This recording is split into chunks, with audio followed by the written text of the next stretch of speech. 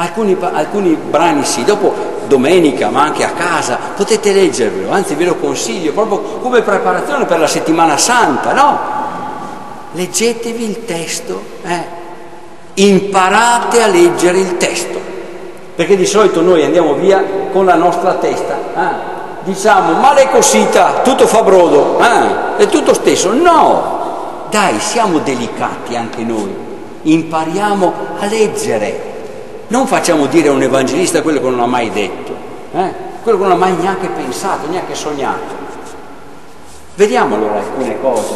Ehm, sì. Puoi leggerle? Leggi tu. Io magari eh, vi faccio notare mentre... Eh?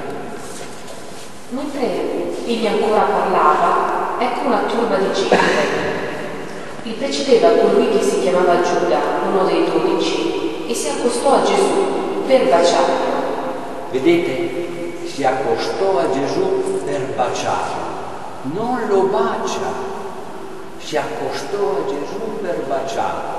Mentre invece gli altri evangelisti diranno e lo baciò.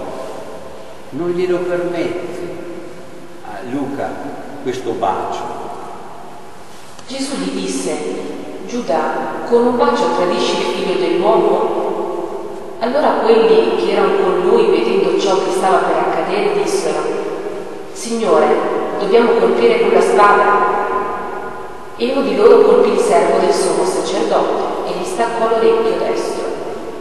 Ma Gesù intervenne dicendo, lasciate, basta così. E toccatogli l'orecchio lo guarì. Bellissima anche questa, questa puntualizzazione. Vi dicevo che San Luca ha tutta una sua spiritualità, teologia, ma anche una sua concezione della vita. No alla violenza.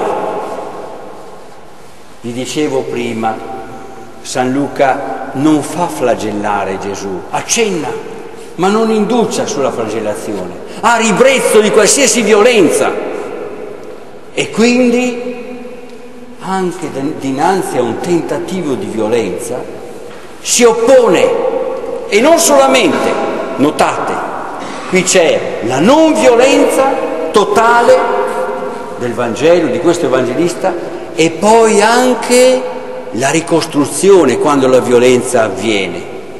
Non è sufficiente dire non vogliamo la violenza, ma dobbiamo anche imparare, come discepoli del Signore, a ricostruire quando la violenza ha distrutto. Prende l'orecchio e lo rimette lì. Non è il miracolo che San Luca vuole sottolineare, assolutamente. Vuole indicare un cammino che la Chiesa deve percorrere. No alla violenza, in nessun caso. E quando la violenza è fatta, mettiti come il maestro davanti a questa violenza e ricostruisci, paga i danni. La violenza non può avere il sopravvento sul mondo, paga i danni, ricostruisci, rimetti proprio a posto quell'ordine che la violenza è stata capace di distruggere.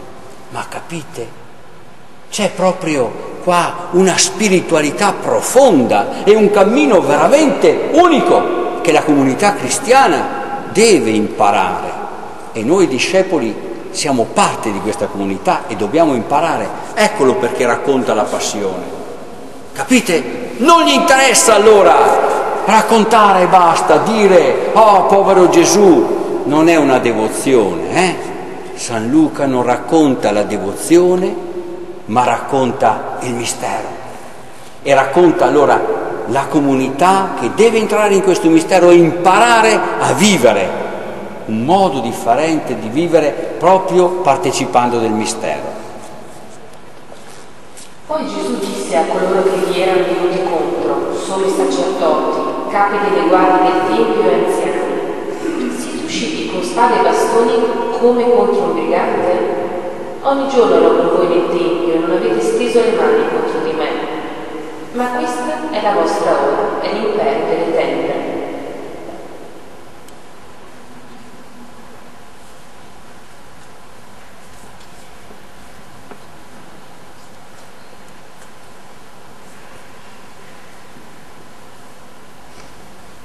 Questo è San Luca. È Giotto questo qua, eh? Chi è andato al cappello degli Sloveni si ricorda benissimo una delle opere d'arte così. Ecco, ringraziamo questi geni, questi Eugeni.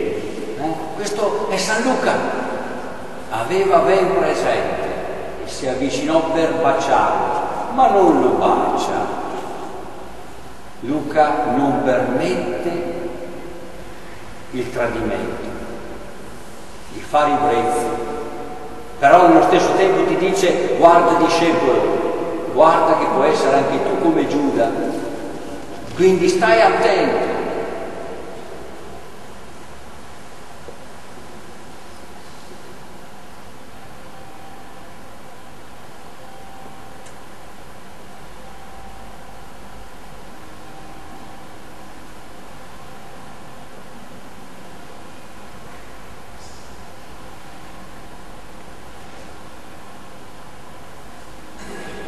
Non lo commentiamo verosimile, ci sarebbe da commentare, ma